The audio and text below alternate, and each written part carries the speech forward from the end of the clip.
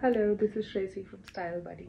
Continuing with our series of body types, today we're going to talk about the pear shaped body. Pear shaped body has a narrow shoulder with a smaller bust, a well defined waist, and a lower body that is wider than the upper body. These are a few celebrity examples of the pear shaped body type. Let's take a look on how to style the pear shaped body. Emphasize on enhancing your waistline and arms. Add volume to your shoulders and upper body for a balanced silhouette.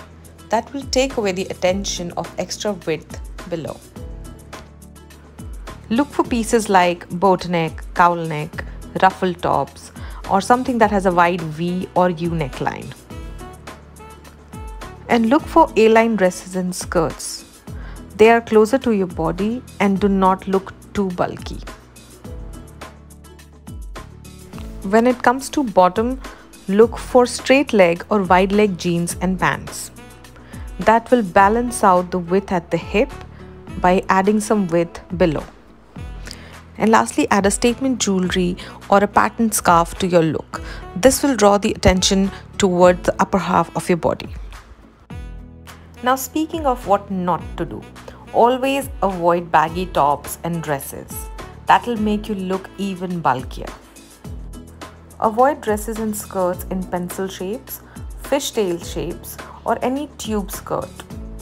This will enhance the width of your bottom, which we are trying to avoid. For bottoms, avoid anything that is low waist, whether it's jeans or trousers. And lastly, avoid any kind of heavy embellishment, embroidery or patterns around your hip or on the lower part of your dress because again, this will enhance the width of your lower body. I hope you enjoyed this video. For more such styling videos, visit our Style Buddy channel and write to us if you have any styling or fashion related queries. See you next time.